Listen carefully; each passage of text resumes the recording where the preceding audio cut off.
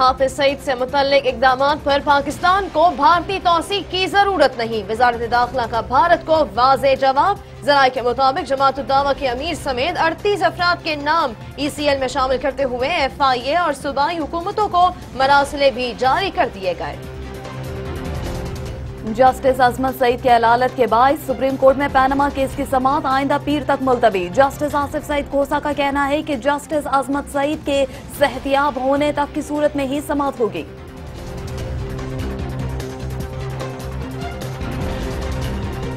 वज़ीर आज़म नवाज़ शरीफ तीन फरवरी को कराची, हैदराबाद मोटरवे के तकमील शुदा हिस्से का अफ्ताह करेंगे। फलस्तीनी सदर महमूद अब्बास पाकिस्तान का तीन रोजा दौरा मुकम्मल करने के बाद वतन वापस रवाना हो गए। नूर खान एयरबेस पर सदर ममनून हुसैन ने फलस्तीनी हम मनसब को रुखसत किया।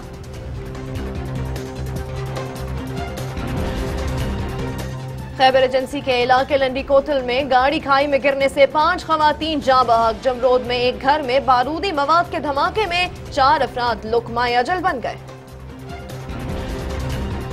वज़ीर कानून पंजाब राना सनाउल्ला ने इमरान खान को पाकिस्तान का डोनाल्ड ट्रंप करार दे दिया। कहता है कि 2018 के आम इंतबात में अवाम एक बार फिर झूठ और इंतज़ार की सियासत को दफन कर देंगे।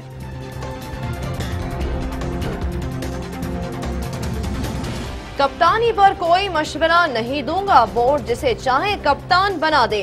कल तक वापसी का कहने वाले आज रिटायरमेंट की बात कर रहे हैं। कौमी टेस्ट क्रिकेट टीम के कप्तान मिसबाउल हक का शिकवा और पाकिस्तान क्रिकेट बोर्ड के चेयरमैन शहरियार खान का कौमी टीम की नाकस कारकर्दगी पर सीनियर सबक खिलाड़ियों से मुशावरत का फैसला। गोल में इस कॉन्फ्रेंस आइंदा मार्च है और सात तारीख को लाहौर में होगी। करेंगे खबरों की तफसील। आपको बताएँ कि वजारत दाखिला ने वाजे किया है कि हाफिज मोहम्मद सईद से मुतलिक इकदाम पर पाकिस्तान को भारतीय तोसीक की ज़रूरत नहीं। भारत के बयान पर तर्जमान वजारत दाखिला ने अपने रद्द अमल में कहा है कि हाफिज सईद की नजरबंदी के लिए अकवा मुतहदा की सलामती कौंसिल की करारदाद को मद्देनजर रखकर इकदाम किए गए। तर्जमान का कहना था कि भारत हाफिज सईद की सियासी सरगर्मियाँ पाकिस्तान के खिलाफ बतौर हथियार इस्तेमाल करता रहा है। तर्जमान के मुताबिक, भारत अगर अपने इल्ज़ाम में संजीदा है तो वो उनके सबूत भी पेश करे। बगैर सबूत के इल्ज़ाम खत्े में अमन के लिए मददगार साबित नहीं होंगे। तर्जुमान का कहना था कि सानिया समझौता एक्सप्रेस में भारतीय फौज का कर्नल मुलविस था। सानिया समझौता एक्सप्रेस के मुलजिम कैसे रिहा हुए, भारतीय जवाब का इंतज़ार रहा। तर्जुमान ने कहा कि आलमी बरादरी को समझना चाहिए कि पाकिस्तान जमहूरी मुआरे का अक्कास है। जराये के मुताबिक वजारत दाखिला ने हाफिज सईद समेत अड़तीस अफराद के नाम ई सी एल में शामिल करते हुए एफ़ आई ए और चारों सूबाई हुकूमतों को मनासले भी जारी कर दिए हैं। सुप्रीम कोर्ट में पैनामा लीक्स केस की समात जस्टिस अजमत सईद की बीमारी के बाईस पीर तक मुलतवी कर दी गई। बेंच के सरबराह जस्टिस आसिफ सईद खोसा ने आज समात मुलतवी करने का ऐलान करते हुए कहा कि वो जस्टिस अजमत सईद की जल्द सेहतियाबी के लिए दुआ गो है। जस्टिस आसिफ सईद खोसा का कहना था कि जस्टिस अजमत सईद के दिल की शरियानों में रुकावट दूर कर दी गई है और उन्हें सर्जरी की ज़रूरत नहीं पड़ी। अदालत का कहना था कि जस्टिस अजमत सईद को डॉक्टर्स ने तीन से चार रोज आराम का मशवरा दिया है और पीर को उनकी मुकम्मल सेहतियाबी की सूरत में समाप्त होगी।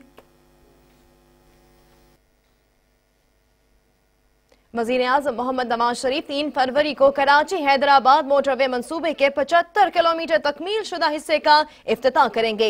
136 किलोमीटर तवील Karachi, Hyderabad, M nine motorway पर 17 सितंबर 2015 में काम शुरू हुआ था और यह मनसूबा मार्च 2018 में मुकम्मल होने की तो है। एम नाइन मोटरवे पर पाँच पुल और दो ट्रामा सेंटर्स भी तामीर किए गए हैं, जबकि चार interchange, Kirthar, national park Jhampir Kinjhar झील और थाना अहमद खान को मुंसलिक करेंगे। कराची हैदराबाद मोटरवे की तमीर पर 36 अरब रुपए लागत आएगी। पाँच पुल, एक सौ सितानवे किलोमीटर सर्विस रोड और 40 किलोमीटर शजरकारी के मंसूबे भी मोटरवे के इस सेक्शन का हिस्सा हैं। हुकाम का कहना है कि Sukkur Multan motorway M five पर भी पेशरफ्त हो रही है। इसके अलावा गोजरा, शोरकोट और शोरकोट खानेवाल सेक्शन भी तकमील के मराहल में है। हालिया मनसूबों की तकमील से मोटरवे की कुल लंबाई दो हज़ार किलोमीटर हो जाएगी। कौमी असम्बली को बताया गया है कि मुल्क भर में मुताद डैम्स की तमीर आइंदा साल मुकम्मल हो जाएगी। कौमी असम्बली में वक्फा सवाल के दौरान दिफा के पार्लिमानी सेक्रेटरी चौधरी जाफ़र इकबाल का कहना था कि पाकिस्तान ईरान से चौहत्तर मेगावाट बिजली दरामद कर रहा है, जिसे एक सौ चार मेगावाट तक बढ़ाया जाएगा। उन्होंने बताया कि गवादर के लिए ईरान से सौ मेगावाट मजीद बिजली हासिल करने के माहे पर भी दस्तखत हो गए हैं। कौमी असम्बली ने आज एक करारदाद की मंजूरी दी, जिसमें कैनेडा में इस्लामी सेंटर में होने वाले दहशत गर्दी के वाक़े की शदीद मजम्मत की गई। ज़रिए तरक्याती बैंक की जानब से किसानों से साढ़े सोलह फ़ीसद मौकब की वसूली से मुतालिक तवज्जो दिलाओ नोटिस के जवाब में खजाना के पार्लिमानी सेक्रेटरी मोहम्मद अफजल ने ऐवान को बताया कि ज़रिए शोबे में कर्जे की तीन कैटेगरीज हैं। किसान दो स्कीम के तहत कर्जा साढ़े बारह फ़ीसद मौका पर दिया जा रहा है। पैदावारी कर्जा भी इसी शरह से दिया जाता है, जबकि तरक्याती कर्जा चौदह आशारिया आठ फ़ीसद की शरह से दिया जाता है। कौमी असम्बली का इजलास अब कल सुबह साढ़े दस बजे दोबारा शुरू होगा। फलस्तीन के सदर महमूद अब्बास तीन रोजा दौरा मुकम्मल करके वतन वापस रवाना हो गए हैं। नूर खान एयरबेस पर सदर ममलिकत ममनून हुसैन ने फलस्तीनी हम मनसब को अलविदा किया। इस मौके पर सदर ममनून हुसैन ने फलस्तीनी सदर को उनके दौरा पाकिस्तान की तस्वीर पर मुश्तमिल एल्बम भी पेश किया। फलस्तीनी सदर ने सदर ममनून हुसैन को फलस्तीनी तस्वीर का तोहफा भी दिया। दूसरी जानब इलेक्शन कमीशन ने तहरीक इंसाफ के चेयरमैन इमरान खान और जहांगीर तरीन के खिलाफ नाअहली रेफरेंस में पीटीआई के वकील को जवाब जमा करवाने की हिदायत करते हुए समात पंद्रह फरवरी तक मुलतवी कर दी है। इलेक्शन कमीशन ऑफ़ पाकिस्तान में chief election commissioner Sardar Raza Khan की सरबराही में पाँच रुकनी बेंच ने तहरीक इंसाफ के चेयरमैन इमरान खान के खिलाफ नाअहली रेफरेंस की समात की। नून लीग अरकान के वकील अकरम शेख और तहरीक इंसाफ के वकील नईम बुखारी इलेक्शन कमीशन में पेश हुए। पीटीआई के वकील की दरखास्त पर कमीशन ने उन्हें जवाब दाखिल कराने के लिए पंद्रह रोज की मोहलत दी है।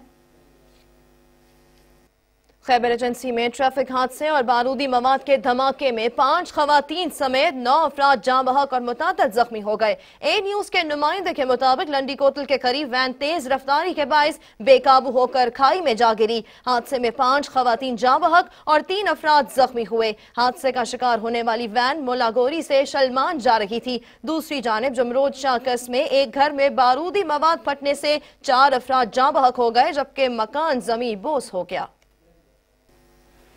दीगर खबरें शामिल करें। आपको बताएँ कि वज़ीर कानून पंजाब राना सनाउल्ला ने पीटीआई के चेयरमैन इमरान खान को पाकिस्तान का डोनाल्ड ट्रंप करार देते हुए कहा है कि 2018 के इंतबात में अवाम एक बार फिर इमरान खान की सियासत को दफन कर देंगे। लाहौर में पंजाब असम्बली के बाहर मीडिया से बातचीत करते हुए राना सनाउल्ला का कहना था कि पैनमा लीक्स केस में अपोजिशन अदालत में वज़ीर आज़म के खिलाफ कोई भी सबूत पेश नहीं कर सकी। झूठ, बहतान और इल्ज़ाम की सियासत करने वाले अपनी गिनावनी साजिश साजिशों की वजह से अवाम की नज़रों से गिर चुके हैं। उन्होंने कहा कि कलदम तंजीमों के खिलाफ जहाँ शिकायत होंगी, वहाँ हुकूमत कार्रवाई करेगी। एक सवाल पर उनका कहना था कि पंजाब में जमात दावा के खिलाफ कोई शिकायत नहीं, नजरबंदी, विफाक के कहने पर की गई। नाजरीन सिंध हुकूमत ने वाजे किया है कि उबर और करीम टैक्सी सर्विस बंद नहीं की जा रही। आज सुबह असम्बली का अजलास हुकूमती और अपोजिशन अरकान में नोक झोंक के बायस मुलतवी कर दिया गया। तफसीत जानते हैं मुनीर साकी से। सिंध असेंबली में एम क्यू एम के रुकन जमाल अहमद ने ओबर और करीम टैक्सी सर्विस बंद करने के हवाले से तवज्जो दिलाओ नोटिस पेश करते हुए टैक्सी सर्विस बंद न करने का मुतालबा किया। ये जो स्कीम शुरू की गई है ये अवाम के मफाद के लिए अच्छी है क्योंकि हुकूमत सिंध ने कोई ट्रांसपोर्ट की बेहतर सहूलत आवाम को मैसर नहीं किया। सूबाई वज़ीर ट्रांसपोर्ट नासिर शाह ने तवज्जो दिला नोटिस का जवाब देते हुए वाजे किया कि सूबे में टैक्सी सर्विस बंद नहीं की जा रही। हमारे यहाँ कोई भी इस तरह का एक्शन किसी एक गाड़ी के खिलाफ भी नहीं हुआ लेकिन रूल्स और रेगुलेशंस को फॉलो करना इनका ज़िम्मेदारी है। मीरपुर खास तालीमी बोर्ड से मुलाजमीन की बरतरफी के खिलाफ एम क्यू एम के डॉक्टर ज़फ़र कमाली ने एहतजाज करते हुए कहा कि महाजरीन मुलाजमीन को निकाला जा रहा है। तमाम महाजिरों को बाकायदा तौर पर उनकी नौकरियों से बरतरफ किया गया। मीरपुर खास बोर्ड ऑफ़िस की मैं बात कर रहा हूँ जनाब आज सीनियर वज़ीर निसार अहमद खोड़ो का कहना था कि सिंध में कोई मुहाजर नहीं सब सिंधी हैं। ये कहना चाहिए सिंध का खाते हैं सिंध में जीते हैं सिंध में मरते हैं। और ये कह सकते हैं मुतहदा कौमी मूवमेंट पाकिस्तान की पॉलिसी भी यही है कि हम उर्दू बोलने वाले सिंधी हैं। अगर नहीं है तो बता दो। कायमकाम स्पीकर से भी रहा नहीं गया और बोली कि हिजरत करने वालों को मुहाजिर कहना दुरुस्त नहीं। ये कहीं साबित नहीं होता कि जो हिजरत करके आए वो सिर्फ़ उर्दू स्पीकिंग है। डॉक्टर ज़फ़र कमाली साहब आप अपना पॉइंट रेस कर चुके हैं ना? दस पर तशरीफ़ रखें। जी बस आप तशरीफ़ रखें। मुहाजरों के मामले पर अरकान के माबहन नोकझोंक और शोर शराबे के बाद इजलास जुमेरात तक मुलतवी कर दिया गया, जबकि कायमकाम स्पीकर ने असम्बली सेशन के दौरान अरकान को एन जी ओ के प्रोग्राम में शरीक होने ऐसी मना कर दिया। कैमरामैन अब्दुल्ला बदर के साथ मुनीर साकी, ए न्यूज़ कराची। लाहौर से खबर शामिल करें, आपको बताएँ कि लाहौर में पंजाब रेवेन्यू अथॉरिटी के एपलेट ट्रिब्यूनल ने काम का आगाज़ कर दिया। इफ्ती तकरीब में सूबाई वज़ीर खजाना आयशा गौस पाशा ने खसूसी तौर पर शिरकत की। इस मौके पर chairman P R A doctor Rahil Siddiqui ने पंजाब रेवेन्यू ट्रेनिंग अकेडमी कायम करने का भी ऐलान किया। तफसला ताहिर इमरान से।